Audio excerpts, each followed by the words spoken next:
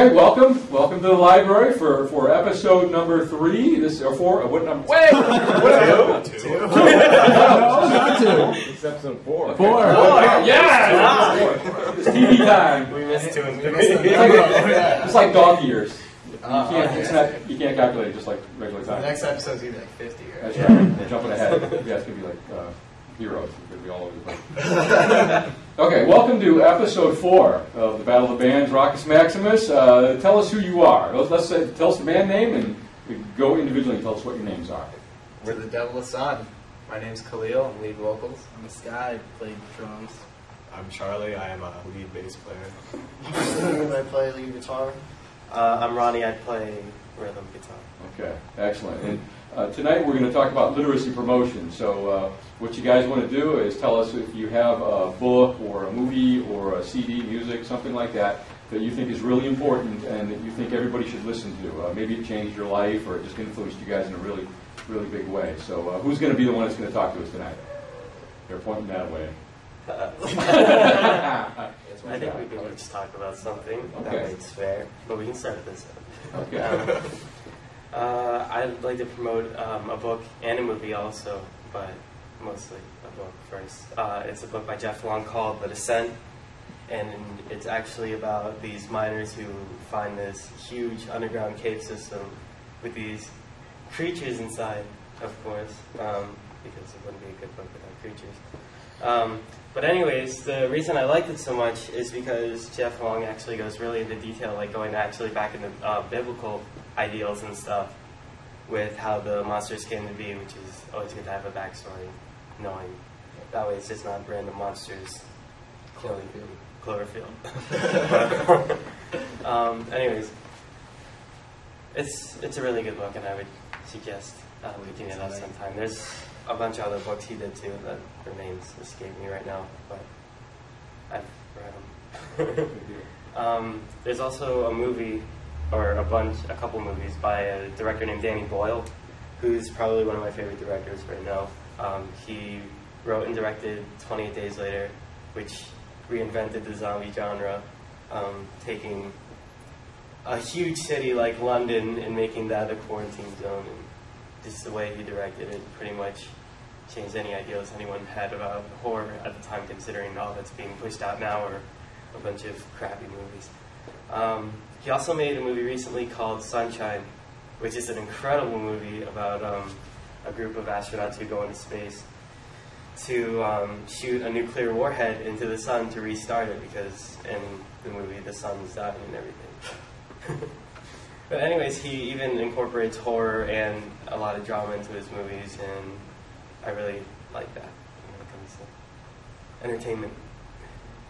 So, Anybody else want to say something? Um, you know, the new Black Dahlia Murder CD is pretty intense. Uh, Nocturnal.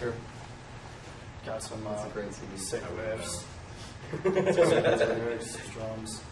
yeah, Everything they've put out previously is amazing too. So everybody should listen. Extremely good new new age death metal band. Definitely.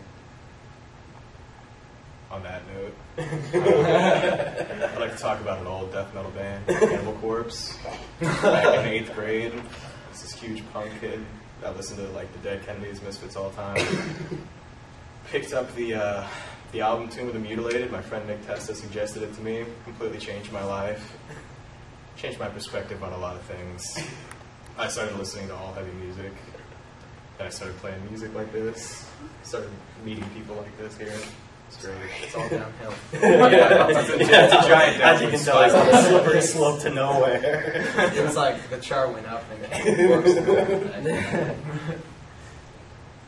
Well, well uh, uh, I, I, I want to talk about the new Between the Buried and Me CD called Colors.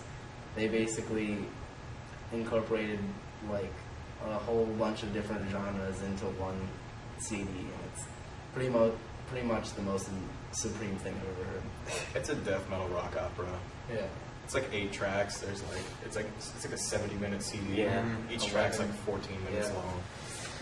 It's crazy. Um, I personally enjoyed reading the Left Behind series. I'm serious. I read four of those books and I Sorry. loved all of them. They kept me in suspense. Extremely good. You guys are. Excuse me, unfortunately, I didn't I like the didn't. movie. I didn't, I didn't even Jim watch- Carrey's horrible. The video game, you like you either kill or you convert. This is a great lesson as Um, far as Christianity goes. well, the troops in Iraq are amazing. God bless them. Yes. That's all I have to say. Okay, so I got a couple questions for you guys. Yeah.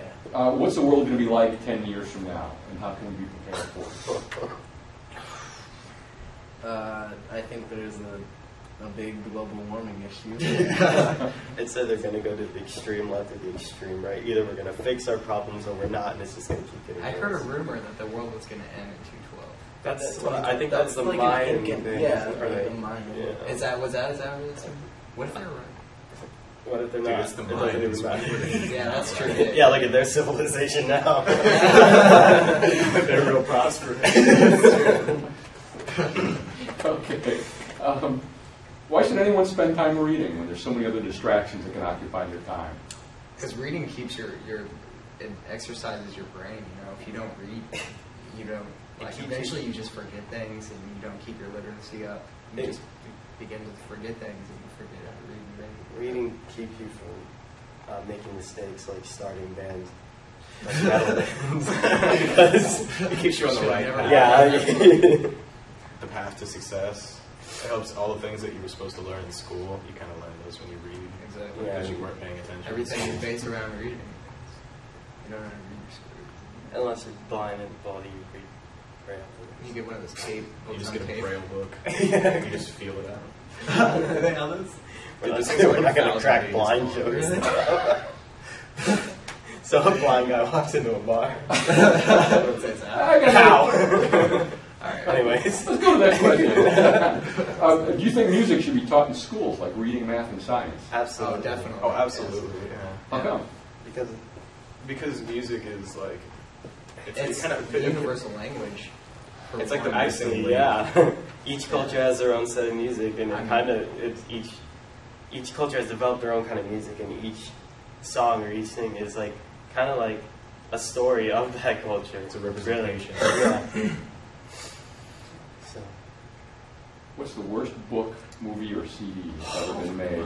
uh, first. uh, Sound of Music, the worst movie I've ever seen. What, what? Why is His eyes. Because the music was horrendous. I don't care how many people like it or tell me that I should see it. I really hated that movie. It wasn't brutal. Which movie? The Sound of Music. I really hated the movie uh, 40 Days of Night. 30 Days a Night. Is it 30 Oh, I thought it was 40. 30. Oh, see, that's how much I liked it. I wrote the name. It was, it was pretty horrible. Um, Uh, yeah, skip. okay. Cursed. John Carpenter. oh, yeah, that was really bad. Oh, yeah, that was bad. I saw that in It was actually kind of funny. It was actually So much bad. more funny yeah, than it it should have been. Um, I was kind of disappointed about the Snakes on a Plane movie. uh, wasn't too too happy with the ending of it. You know. Samuel Could have Jackson. been better. but I don't know. So who would you guys say was maybe the most uh, creative uh, writer, composer, or musician in history? You had somebody In like that? Beethoven. Lenny Kravitz. Lenny Kravitz, for sure. Yeah. Um, I'm gonna go ahead and go with Donna Summer. in summer, Um, but seriously, Gladys Knight. Franz Liszt. What a woman. Uh, Franz Liszt was incorporating jazz into his into his compositions way before it- everybody anybody even thought of playing jazz. There's chromatic progressions. There's back there's back down fifth stepping in it. It's crazy. It's everything that Coltrane picked up, at like 300 years later.